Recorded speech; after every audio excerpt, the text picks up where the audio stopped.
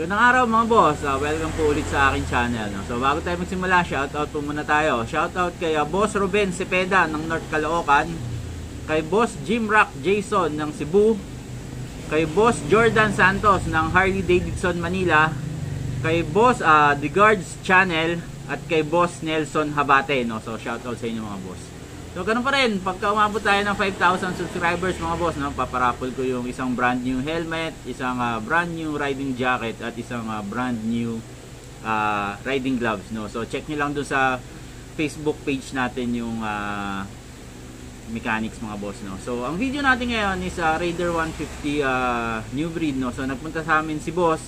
Ang sabi niya kasi maingay daw yung makina ng motor niya no? So ang gusto niyang pa-check is yung uh, tensioner no? So yun yung titingnan natin mga boss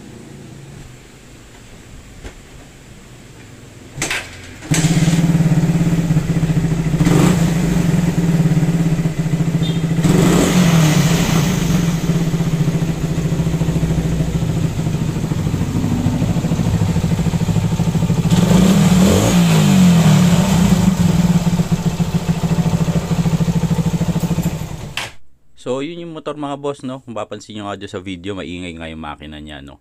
Uh, yung motor new breed, no? Kahit isang beses hindi pa daw napalitan yung timing chain yan. So, isasama natin sa papalitan. Tapos, ang susunod na i-check dyan mga boss is yung valve clearance.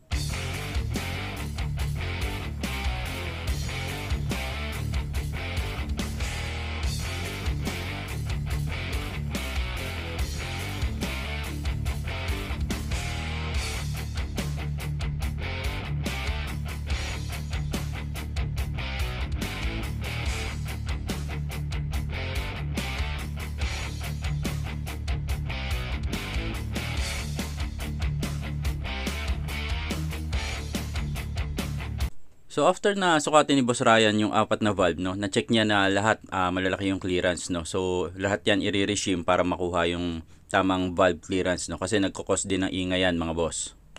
So susunod naman na i-check yung tensioner.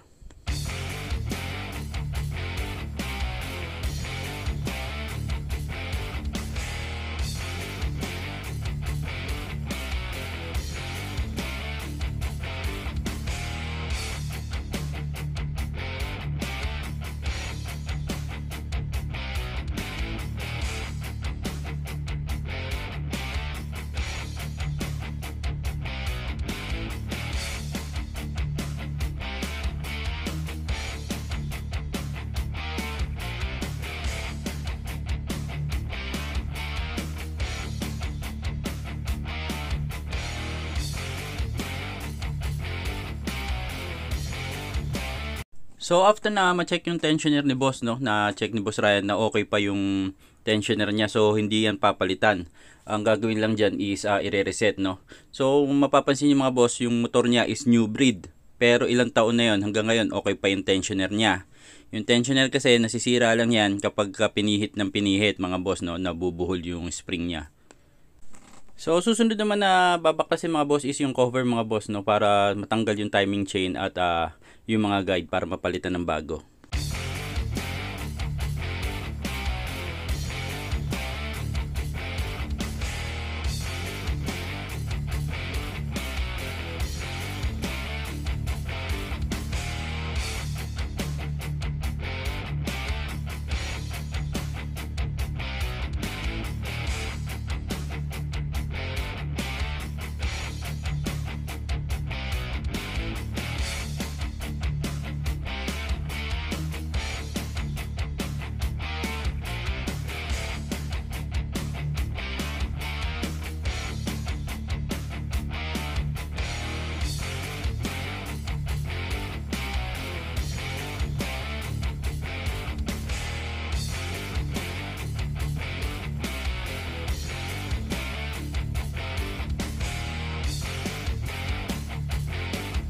So yung mga boss no, nang tinanggal yung guide ng tensioner niya, nalaglag yung bakal doon mga boss no. So delikado yan, mabuti na lang at hindi siya kumalso. So kapag kami napapansin na kayong kakaiba doon sa motor nyo, lalo't ingay, mas okay na ipa-check nyo agad mga boss.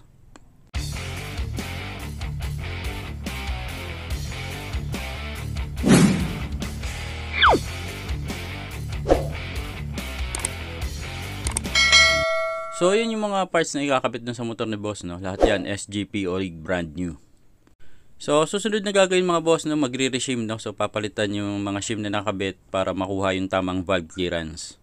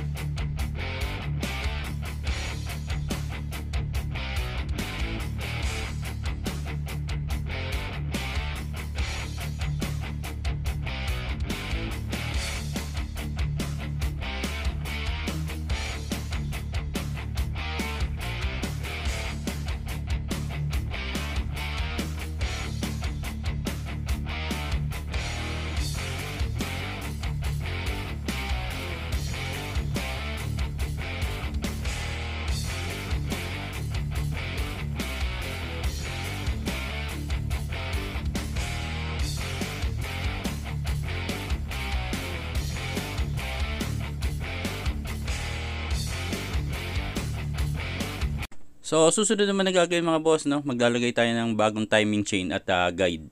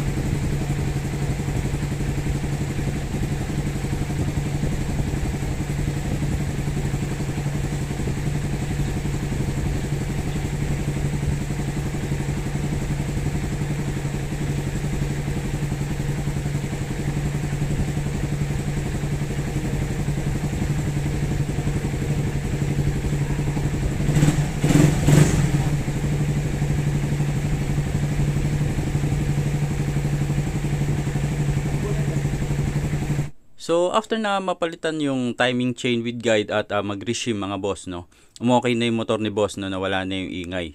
So, hindi namin pinalitan ng bagong tensioner yun mga boss, ni-reset lang namin. Kasi kahit napalitan siya ng bagong tensioner, kung hindi papalitan yung timing chain at yung shim, hindi rin tatahimik yun mga boss. Para dun sa mga gusto magpa-check ng motor nila, pwede nyo kaming bisitahin sa number 218 Dr. Pilapil Street, San Miguel, Pasig City. Open kami Monday hanggang Saturday, 9am hanggang 4pm. Mas okay din kung magchat-chat muna kayo bago kayo pumunta dahil minsan meron kami major work, hindi kami tumatanggap ng walk-in. Kung nagustuhan niyo yung video natin ngayong araw, paki-like, share, and subscribe. Paki-hit niyo na rin yung notification bell para updated kayo sa mga bagong video ang i-upload ko. Salamat mga boss!